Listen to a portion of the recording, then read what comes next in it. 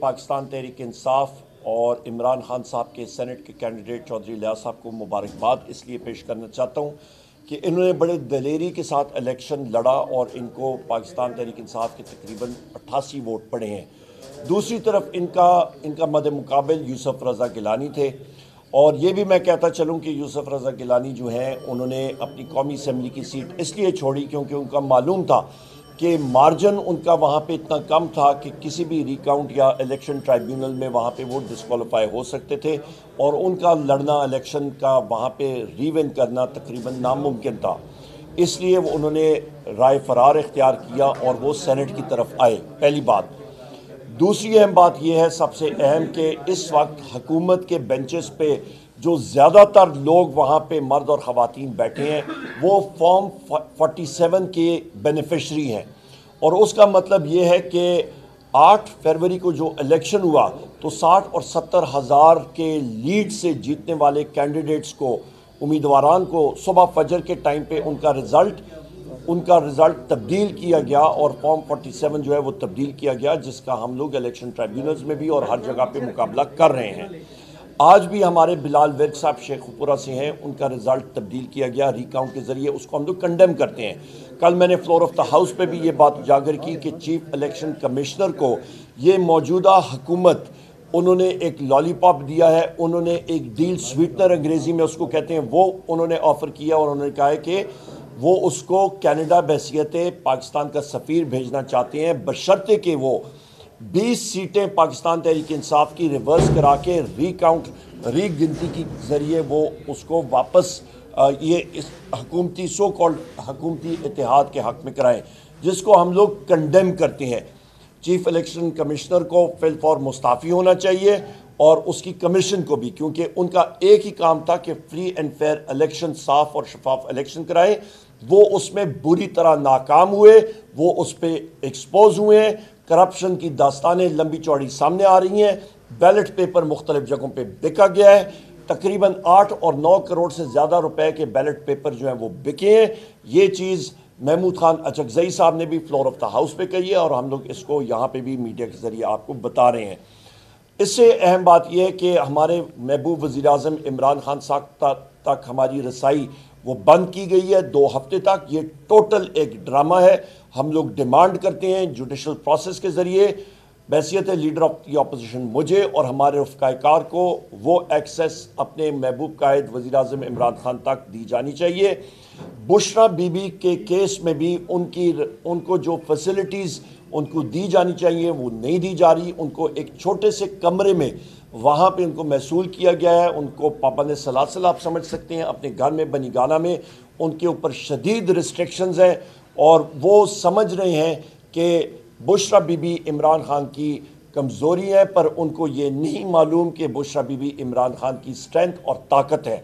वो अल्हम्दुलिल्लाह एक बहादुर खातून है, जिन्होंने ख़ुद अपने आप को जेल अथॉरिटीज़ के हवाले किया, जिस वक्त अदालत ने उनके ख़िलाफ़ फैसला किया। हमारे केसेस में, चाहे वो तोशा खाना हो या बाकी केसेस में अपील्स गई हुई हैं, वो हियरिंग्स जारी हैं और हमारे वकला भी इसके ऊपर ज़्यादा बेहतर तरीके से ब्रीफ कर रहे, करेंगे। और इस वक्त भी हमारे जो पार्टी के सेक्रेटरी इंफॉर्मेशन है, रऊफ़ हसन साहब, वो भी थोड़ी देर में अपनी ब्रीफिंग देंगे कोर कमेटी के हवाले से। हमारी डिमांड ये है कि इमरान खान साहब के ख़िलाफ़ वज़ी अजम इमरान खान साहब के ख़िलाफ़, बुशरा बीबी के ख़िलाफ़, हमारे चौधरी परवेज़ लाई साहब के ख़िलाफ़, शाह महमूद कुरैशी साहब के ख़िलाफ़ हमारे जो मर्द हजरात पाबंद सलासल है ख़वान हमारी पाबंद सलासल है हमारे तीन सौ ज़्यादा पोलिटिकल प्रिजनर जो इस वक्त पाबंद सलासल हैं हमारे एक सौ दो लोग मिलिट्री कोर्ट्स में पाबंद सलासल हैं ये सब के सब पोलिटिकली केसेस बने हैं पोलिटिकल बेसिस पे।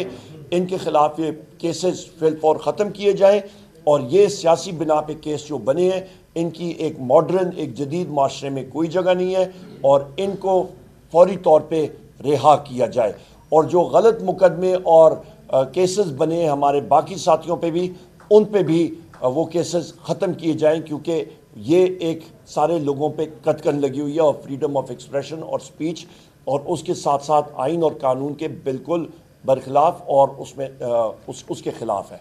जनाब। कि इमरान खान से आखिरी मुलाकात जब आप लोगों की हुई तो उन्होंने आप लोगों की हिदायत की है कि इसके बाद आप लोग इस्तीफे दें को भी समझ से। ऐसी कोई बात नहीं है। अच्छा ये बताइएगा कोर्ट कमेटी के इजलास में वैसे तो उसका लामिया जारी किया गया है। बुनियादी तौर पे वो बुलाया क्यों गया था? और उसके ऊपर पेशावर की सीट का भी उसमें हुआ और दूसरा ये जो मुलाकात कर हुई है इस पे आप क्या कहेंगे? देखिए सबसे पहली बात यह है टिक्का खान साहब के कोर कमेटी का इजलास हमारा वर्चुअल हम लोगों ने कभी उसको ख़त्म किया नहीं है। ये हर दिन भी होती रही है, हफ़्ते में दो से तीन बार भी होती रही है, तसलसल से होती रही है। मॉडर्न टेक्नोलॉजी हैं को इस्तेमाल पाकिस्तान तहरीक इंसाफ ने किया है और इसी चीज़ से हमारे मुखालफी जो हैं वो खाइफ है। आज पहली बार मौका मिला कि हम लोग फ़िज़िकल मीटिंग करें। कई लोग हमारे मुख्तलिफ़ टेक्नोलॉजी के प्लेटफॉर्म्स थे पे थे और कई लोग हमारे यहाँ पे फ़िज़िकली पहली बार मिल रहे थे। और बड़ा अच्छा इजलास हुआ। बड़े अरसे के बाद अल्हम्दुलिल्लाह आना आमने सामने हम लोग बैठे थे। और दूसरी बात आ, हुई आपकी कि जी आ, हमारे चीफ मिनिस्टर अली अमीन खान गंडापुर की। अली अमीन गंडापुर इस वक्त जो हैं वो एक चीफ मिनिस्टर हैं खैबर पख्तूनख्वा के। और यहाँ पे नेट हाइडल प्रॉफिट्स के अरियर्स हैं। अरियर्स का मुराद है कि जो वाजबात मरकज़ी हुकूमत ने फेडरल हुकूमत ने खैबर पख्तूनख्वा को हर हालत में देने हैं। वो उसके रिलीज़ के लिए आए थे, जो कि खैबर पख्तूनख्वा का एक हक है और अपने हक मांगने के लिए आए थे और इस पर और कोई लंबी चौड़ी न दास्तान है, ना कोई चीज़ देखनी चाहिए।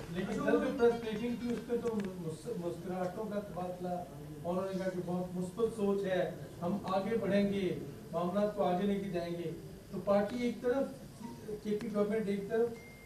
नहीं बिल्कुल नहीं। उनकी जो मुस्बत सोच है वो है पैसे वसूल करने की और पैसे उन्होंने हर सूरत में इन ताला हमने वसूल करने हैं। पैसे वसूल करने का तरीक़ाकार होता है। टिका खान साहब की या ख्वाहिश है कि डंडा सोटा लेके एक दूसरे के साथ वार करें वो नहीं होगा। वो वो एक तरीक़ाकार से इन ताला हमने हमने अपनी आवाम के लिए वो पैसे वसूल करने हैं। जारी बात है जी, वो चीफ मिनिस्टर है और चीफ मिनिस्टर ने अपने सूबे के वाजबात जो मरकज़ी हुकूमत ने देने हैं, वो उन्होंने वसूली उस पर करनी है। ज़्यादा अहम बात आपको करनी चाहिए कि पाकिस्तान पीपल्स पार्टी ने कल जो पॉइंट ऑफ़ ऑर्डर पे नवीद कमर साहब उठे थे और उन्होंने इरसा के बारे में बात की है, वो उनसे ज़रूर पूछेगा कि ये तो एक दूसरे के पीठ में मुस्लिम लीग नून और पीपल्स पार्टी ने एक दूसरे के पीठ में खंजर खोपना शुरू कर दिया ये तो हुकूमत नहीं चलेगी मुझे लग रहा है। वो ये तो इब्तदाई इश्क है होता है क्या? ये तो अभी आगे देखिए ये होता है क्या इंतसाद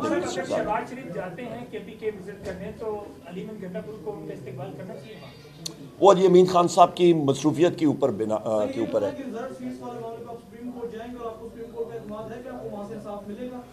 हम लोग हर दरवाज़ा कोर्ट्स का खटखटाएँगे, जो कि हमारा हक है। आइन और कानून जो है, वो वाजे है। हमें वो सीट्स मिलनी चाहिए।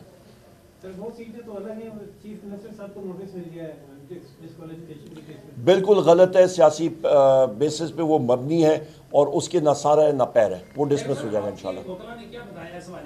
ये एक पार्ट तो समझ में आया कि जी ये इतिहाद नहीं था जो उन्होंने पहला पार्ट किया। दूसरे पे वो सीटें तकसीम किस तरह तकसीम तकसीम का कोई सारो पैर ही नहीं है नहीं होना चाहिए। आइन और कानून के तौर पर ये इसी तरह ही है जिस तरह के हमारे बहुत सारे लोगों के खिलाफ मेरे समेत जो फिक्टिस और बोगस केसेस बने हैं कि हम लोगों को उन्होंने तकरीबन 12 शहरों में एक ही जगह पे दिखाया हुआ है, पर्चों में एफआईआर जो हुई हुई हैं। यहाँ तक कि मोटरसाइकिल चोरी के पर्चे हुए हैं तो ये या कोई माने तो फिर मैं क्या कह सकता हूँ। ये उसी तरह का एक जुगाड़ सिस्टम पाकिस्तान में बदकिस्मती के साथ चल रहा है, जिसको हम लोग कंडेम करते हैं। मैं फिर मैं फिर दोहरा रहा हूँ कि चीफ इलेक्शन कमिश्नर को जिसकी ज़िम्मेदारी थी जिसके पास अरबों रुपए आए थे election free and fair conduct करने का, उसने नहीं किया, जिम्मेदार हुआ है इमीजिएटली उसको मुस्ताफ़ी होना चाहिए। बहुत